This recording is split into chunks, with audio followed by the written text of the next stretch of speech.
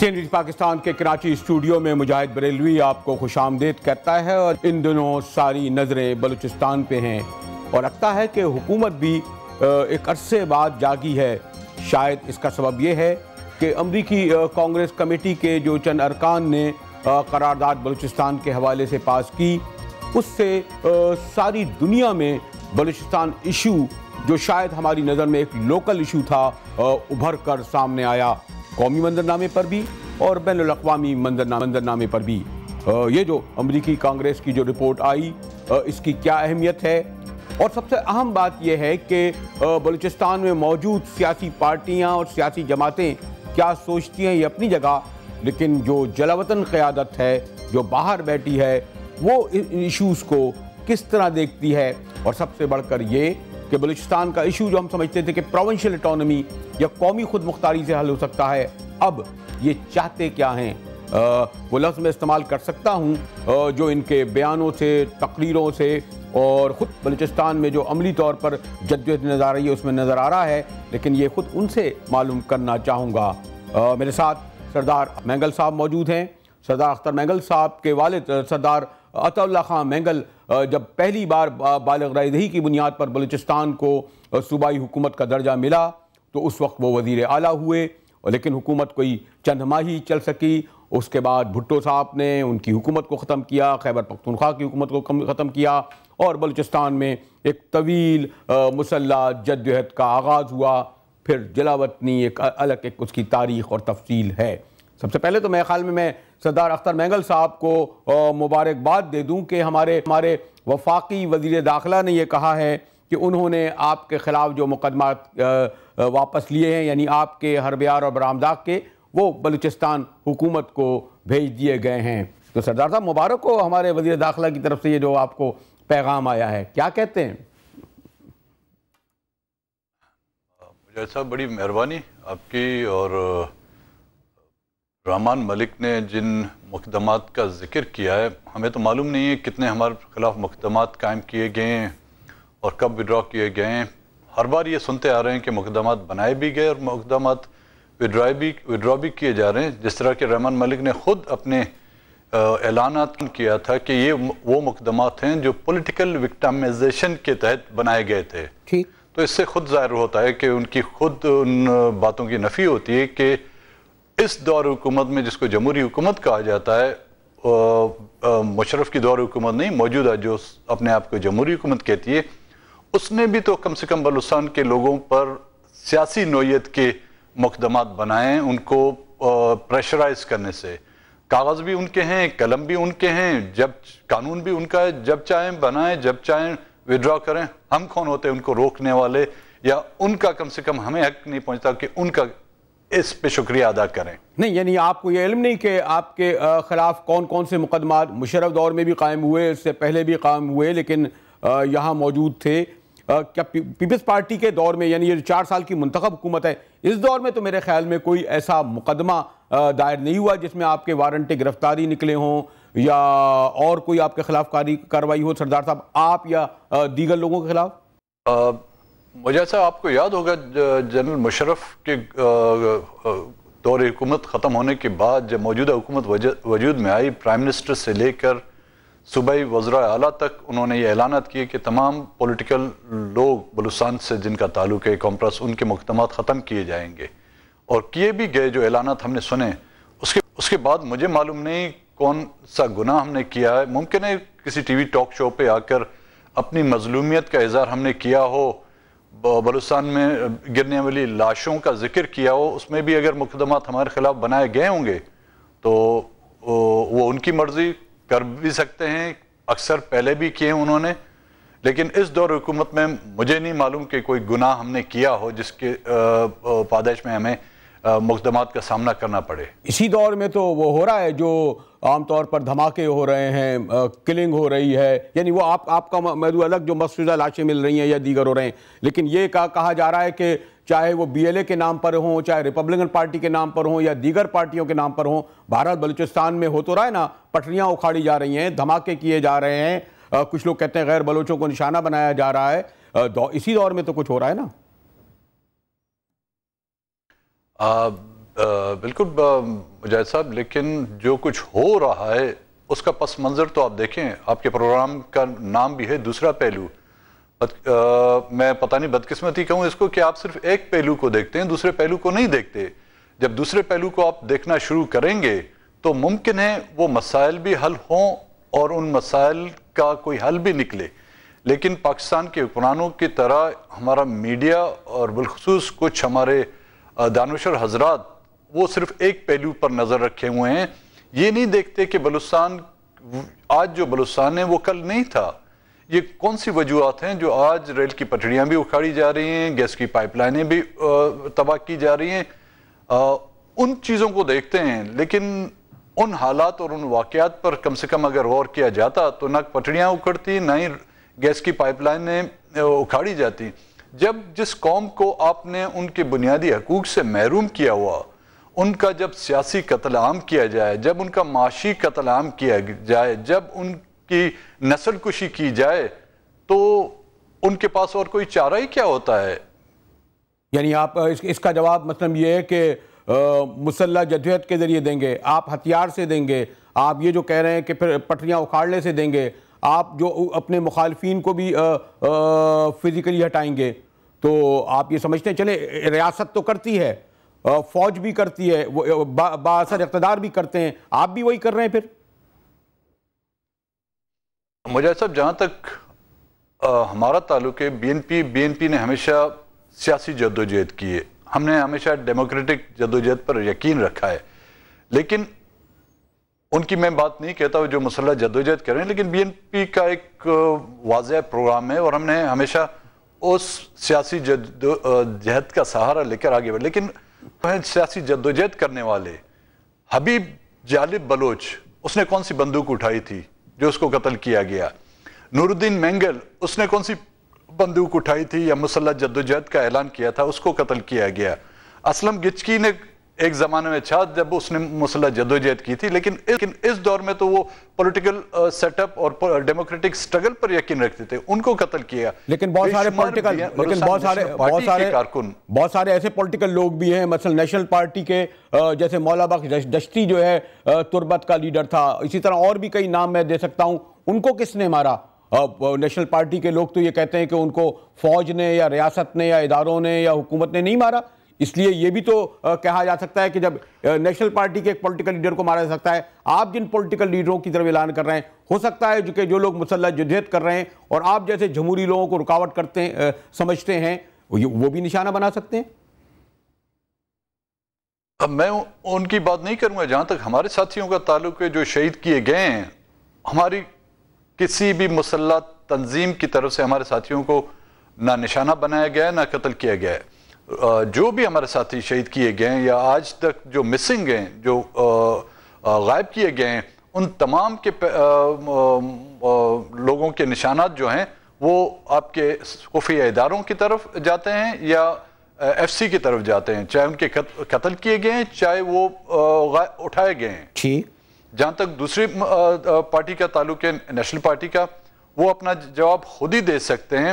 اور میں نہیں سمجھتا اس کو کبھی ہم نے اس کی حمایت کی ہے کسی بے گناہ کو قتل کرنا چاہے اس کا تعلق کسی پولیٹیکل بلوچ نیشنلس پارٹی سے ہو یا عام غریب وہاں پہ مزدور ہو ہم نے ہمیشہ اس کی مذمت کی ہے۔ اس کا مطلب یہ کہ جو ایک سٹیٹ کی طرف سے اس طرح کے واقعات اور حرکت جو کیے جا رہے ہیں اس میں اور ایک مسلح تنظیم کی جانب سے جو کیے جا رہے ہیں اس میں زمین آسمان کا فرق ہے نہیں سردار صاحب نہیں میخال مسلح تنظیموں کو بھی رسپانسبل ہے اگر وہ اپنی ذمہ داری سمجھے۔ سردار صاحب لیکن مسلح تنظیموں کو بھی چاہے اگر اپنے کو ریپبلکن کہتے ہیں یا بی ایل اے کہتے ہیں وہ یعنی جس مقصد کے لیے کر رہے ہیں یعنی بلوچستان کی ترقی کے لیے خوشحالی کے لیے عوام کے لیے مستقبل کے لیے انہیں بھی تو وہ سب کچھ نہیں کرنا چاہیے۔ وہ کوئی قابل قدر چیز تو نہیں ہے قابل مبارکباد چیز تو نہیں کہی جائے گی اگر وہ لوگ یہ کر رہے ہیں۔ قابل مذمتی کہلائی جائے گی نا اس کو تو؟ جیسا میں میں نے یہ میں نے کہا کہ ہم نے اس کی مذمت کی، لیکن اسی دوران آپ کو یاد ہوگا، دو ہزار آٹھ میں مستونگ میں ایک ٹیچر کو نشانہ لیکچرار کو نشانہ بنایا گیا تھا، اور اسی مجمع لوگوں نے ان لوگوں کو پکڑا، وہ ایجنسی کے لوگ نکلے، جب ان کو تھانے میں لے آیا گیا، اور وہیں سے تھانے سے آپ کے ایجنسی کے لوگ آگئے بغیر ایف آئی آر کاٹے ان کو جو ہے ریا کرانے کی کوشش کی جس پر لوگ مشتل ہوئے اور انہوں نے جو ہے تھانے کا گیراؤ کیا۔ تو کچھ دیر کے لیے ان کو تھانے میں رکھا اور پھر جو ہے کورٹ سے ان کی ضمانتیں کرا کے ان کو چھڑا دیا گیا۔ ہے اس میں وہ ادارے بھی فائدہ اٹھاتے ہیں کہ بلوچ نیشنلس جو سٹرگل چل رہی ہے، اس کو کسی نہ کسی طرح سے بدنام کیا جائے۔ نہیں، سردار صاحب، اس تفصیل میں ویسے اب زیادہ نہیں جاؤں گا، لیکن یہ بھی ہوا ہے کہ بہرحال اگر کسی بلوچستان یونیورسٹی کی ٹیچر کو یا بولان میڈیکل کالج کے کسی پروفیسر کو یا غیروں کو مارا گیا، اس کی بھی تو ذمہ داری باقاعدہ قبول کی جاتی رہی ہے۔ جن تنظیموں کا میں نے نام لیا، وہ کہتے ہیں ہاں ہم نے یہ کیا۔ میرے خیال میں نوے فیصد واقعات میں اگر جنہوں نے بغیر بلوچوں کو نشانہ بنایا ان کو وہ ذمہ داری قبول کی جاتی ہے جو بہرحال کسی بھی جدوجہد کے حوالے سے اسے جائز، درست نہیں کہا جا سکتا۔ ویسے میں اس پہ زیادہ تفصیل میں جاؤں گا، لیکن بہرحال یہ تو میں جاننا چاہوں گا نصر اللہ صاحب۔ بنیادی سوال ہے یہ بہرحال۔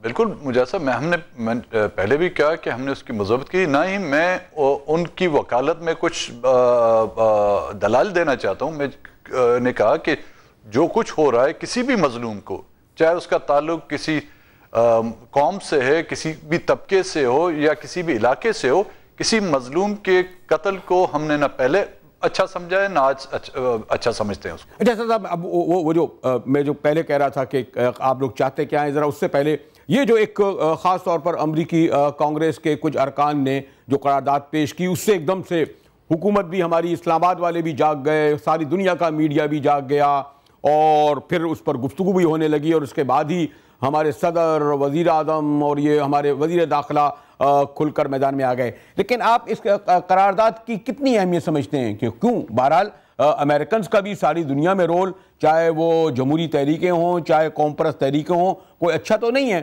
اگر تین ارکان جو ہے قرارداد پاس کر رہے ہیں، اس کا، ان کا کیا مقصد ہے؟ وہ کوئی، آپ سمجھتے ہیں کہ اس سے آپ کی تحریک کو فائدہ ہوا ہے؟ یا سردار صاحب؟ مجھے صاحب روز اول جب یہ قرارداد پیش کی گئی ہے اس سے پہلے جو سب کمیٹی میں، امریکن کانگریس کی سب کمیٹی میں بلوسان کا مسئلہ زیر بیس آیا خیال میں آپ ہی کے پروگرام میں، کئی اور پروگراموں میں میں نے کہا تھا کہ ہم اس قرارداد سے اتنے پر امید نہ ہیں، نہ ہی ہمیں ہونا چاہیے۔ لیکن ہم سے زیادہ کھلبلی جو ہے، پاکستان کے حکومتی اداروں میں پڑ گئی۔ جتنا شور انہوں نے مچایا، ہم تو مارے جا رہے تھے۔ ہم ہم نے کہاں دیکھا کہ بھائی، ہماری جینوسائڈ جو ہمارا ہو رہا ہے یا بلوچ قوم کی جو نسل کشی ہو رہی ہے اس پر کسی نے اگر ہمارے آواز سنی تو ہم نے کوئی جرم نہیں کیا اس کی طرف دیکھے ہوئے۔ لیکن پاکستانی اداروں نے وہ جو خود امریکن کے الائز ہیں، جو فرنٹ لائن اپنے آپ کو اتحادی کہتے ہیں، ان کی طرف کی طرف سے اس طرح کی کھلبلی مچنا جو ہے وہ خود چور کی داڑی میں تنکے کے مترادف ہے کہ اپنے گناہوں کو انہوں نے تو کئی عرصے سے چھپایا۔ پاکستان کی میڈیا میں قطغن لگایا۔ وہاں پر ڈیموکریٹک جو ہے احتجاج کرنے پر جو پابندی لگائی گئی۔ لیکن یہی بات اگر امریکن کانگریس میں آئی ہے اس کی وجوہات ہمیں ڈھونڈنی ہوں گی کہ کیا وجوہات تھی جو آج یہ بات امریکن کانگریس میں کی گئی ہے۔ یہ بات اگر پاکستان کے ایوانوں میں کی جاتی، یہ بات اگر پاکستان کے پولیٹیکل پارٹیاں جو ہیں، اس کو ایک احتجاج کے طور پر ایک اٹھاتی، تو شاید یہ بات امریکن کانگریس میں نہ اٹھائی جاتی، نہ اس پر بحث ہوتی۔ آپ نے یہاں پر تمام وہ دروازے بلوسان کے لوگوں کے ساتھ ہونے والے مظالم کے بند کر دیے۔ وہاں پر اگر کوئی کسی نے دو پرچے اگر اٹھا لیے اس پر کاغذ کے، اور اس پر تو سب کی توجہ گئی، تمام میڈیا متحرک ہو گیا، خفیہ ایجنسیاں متحرک ہو گئیں پولیٹیکل پارٹیاں متحرک ہو گئیں لیکن یہاں پر ہزاروں کی تعداد میں جو لوگ اٹھائے گئے ہیں سینکڑوں کی تعداد میں جو لاشیں گرائی گئی ہیں وہ ان ماؤں کی صدا ان کی کانوں میں کیوں نہیں آئی؟ ان بہنوں کی چیخیں انہوں نے کیوں نہیں سنی؟ یعنی اگر امریکہ کے بعد یعنی امریکہ کے ہو گئے تھے؟ یعنی امریکہ نابینہ ہو گئے تھے اس وقت؟ امریکہ کے بعد اگر انڈیا پارلیمنٹ میں بھی یہ اٹھایا جائے گا آپ سمجھیں گے کہ اور اچھا ہے اور دیگر بھی جو روایتی طور پر پاکستان کے مخالف لوگ ہوں گے تو آپ سمجھیں گے یہ آپ کے لیے بہتر ہوگا اچھا ہوگا۔ مجاہد صاحب، کب سے آپ پاکستان امریکہ، پاکستان کا مخالف ہوا ہے؟ سینٹو اور سیٹو سائن بلوچوں نے نہیں کیا تھا آپ کے جنرل سے۔ انیس سو ستر میں انہی امریکنز کے کہنے پر جارڈن میں جو فلسطینیوں کا قتل عام کیا گیا، وہی آپ کے جنرل نہیں تھے جن کو آپ نے چیف آف آرمی سٹاف بنایا اور ملک کا صدر بنایا۔ انیس سو چھپن میں آپ نے انہی امریکنز کا اور برطانیہ اور فرینچ کا ساتھ دیتے ہوئے سوئس کینال پر جو قبضہ کیا گیا، جو انویٹ کیا گیا، ایجپٹ کے بجائے، مسلمان ملک کے بجائے، آپ نے ان کا ساتھ نہیں دیا؟ ہم پر الزام دے رہے ہیں کہ ہم نے جو ہے، ایک کاغذ پر جو ان کی حمایت کی، پاکستان کا پسندیدہ ملک کون سا ہے؟ اس کا نام تو آپ لیں، ہم پر الزام ہندوستان کے الزام لگا رہے ہیں۔ ہندوستان کو پسندیدہ ملک قرار دینے والے یہی جمہوری ممالک نہیں ہیں آپ؟ یہی ملک نہیں جس کو پاکستان کہا جاتا ہے تو اگر ہم پر تو کوئی الزام آپ ثابت نہیں کر سکیں گے۔ تو اگر جس طریقے سے افغانستان کی حکومت کو یا دیگر لوگ جو ہیں اپنی مدد کے لیے امریکنوں کو دعوت دیتے رہے ایون ناٹو افواج بھی آتے رہے تو آپ بھی سمجھیں گے کہ یہ اگر امریکنوں نے ان کی قرارداد نے اتنا اثر کیا ہے ایک مرحلے پر ہوتا بھی ہے کہ آپ جیسی جو تحریکیں یا تنظیمیں ہوتی ہیں جب ریاست کا جور بڑھے تو ان کی مدد ہوتی ہے تو آپ وہاں تک جائیں گے کہ ان سے کہیں گے ہاں ہماری عملی مدد بھی کریں۔ امریکنوں سے مجاہد صاحب اگر فیورٹ کنٹری سے اس مسئلے کا حل اس مسئلے کا حل آپ خود نکالتے ان چونسٹھ تریسٹھ سالوں میں مجھے ایک مثال دیں کہ اس ملک کے کس حکمران نے بلوچستان کے مسئلے کو نیک نیتی سے خوش اسلوبی سے حل کرنے کی تھوڑی بھی بہت کوشش کی کوشش کی کوشش کی نوے کی نوے نہیں نہیں نہیں سردار صاحب میں ایکسپٹ کرتا ہوں کہ بھٹو کے دور میں بڑی طویل جدوجہد ہوئی۔ اس کے بعد آپ لوگ جتا وطن جلا وطن ہو گئے۔ لیکن بہرحال نوے کی دہائی میں آپ لوگ آئے۔ آپ بھی چیف منسٹر بنے۔ نواب اکبر خان بکٹی بھی چیف منسٹر بنے۔ آپ لوگوں کو موقع ملا تھا اس بات کا کہ آپ جو ہے اپنے لوگوں کے لیے اور اسلام آباد کے ساتھ تعاون سے کام کر سکتے۔ آپ کو موقع ملا۔ لیکن آپ لوگوں کے اپنے بھی مسائل تھے انٹرنل کنٹرڈکشن بھی تھا۔ آپ کی اپنی قبائلی مسائل بھی تھے، آپ کی اپنی دشمنیاں اور دوستیاں بھی تھیں۔ سردار اختر مہنگل صاحب۔ مجاہد صاحب، بالکل آپ نے وجہ فرمایا کہ ہمیں موقع ملا، لیکن اس موقع کی ایک میاد دیکھیں، اس کا ٹائم دیکھیں کہ کتنے عرصے کا موقع ملا ہمیں۔ نواب اکبر خان کی حکومت، میری حکومت اور میرے والد کی حکومت کا اگر ٹین اوور آپ بلائیں تو وہ پانچ سال سے زیادہ نہیں ہو سکتا۔ اس پانچ سال میں اور وہ حالات اور وقت آپ کو خود ہی یاد ہوگا۔ چلو پھر بھی ہم تسلیم کرتے ہیں، اس پانچ سال میں جو کچھ ہوا، اس کی گناہوں کی سزا ہمیں دیں، ہماری آنے والی نسلوں کو دیں۔ لیکن بقایا جو آپ کے اٹھاون سال ہیں، اس کا مجرم کون ہے؟ اس کا جرمدار کون ہے؟ اس کی بھی تو کسی کو سزا ملے۔ میرے جو ٹین اوور تھا جو اٹھارہ مہینے کی تھی یہاں تک ہم پہ بد اعتمادی تھی کہ نیوکلیئر کا جو دھماکہ کیا گیا اس پر ہمیں اعتماد میں نہیں لی گیا۔ جس پر ہم نے احتجاج جب کیا تو گئے تھے آپ۔ ساتھ تو گئے تھے ہماری حکومت کو ختم کیا گیا ہمارے خلاف سازشیں کی گئی اور ہماری اپنی پارٹی کو توڑ کر وہاں پر مسلم لیگ کی جو حکومت قائم کی گئی۔ کیا یہ تاریخی حقائق نہیں؟ اس سے کوئی انکار کر سکے گا؟ چاگی تو آپ گئے تھے میاں صاحب کے ساتھ بہرحال۔ چاگی تک تو گئے تھے کوئٹہ سے جی بالکل میں اس سے اعتراض نہیں کرتا ہوں لیکن وہاں پر بھی آج وہ ریکارڈ پر بات ہے وہاں پر بھی جو میں نے سپیچ کی اس میں نیوکلیئر کی حمایت نہیں بلکہ وہاں پہ بھی میں نے مخالفت کی کہ بلوچستان کے لوگوں کی قسمت میں صرف نیوکلیئر کی دھماکے اور کچھ نہیں۔ سردار صاحب سے یہاں تک گفتگو پہنچی ہے، تو بنیادی سوال کرنا چاہتا ہوں، کیونکہ سب سے اہم سوال یہ ہے، مجھے بریک کی طرف جانا تو نہیں چاہیے کہ اصل میں بلوچ قیادت یعنی خاص طور پر جو جلاوطن بلوچ قیادت ہے، وہ کیا چاہتی ہے؟ عام طور پر لوگ سمجھتے تھے صوبائی خود مختاری اتنی دے دی، آغاز حقوق بلوچستان دے دیا اٹھارویں انیسویں اتنی جو تدامیم ہوئی ہیں، اس کے ذریعے بہت کچھ دے دیا۔ اس کے باوجود کیا چاہتی ہے بلوچ قیادت؟ خاص طور پر جو بلوچستان سے باہر بیٹھے ہیں، جنہیں دعوت بھی دے رہے ہیں ہمارے حکمراں۔ ہمارے ساتھ رہیے گا ہوگی سردار اختر خان مینگل سے۔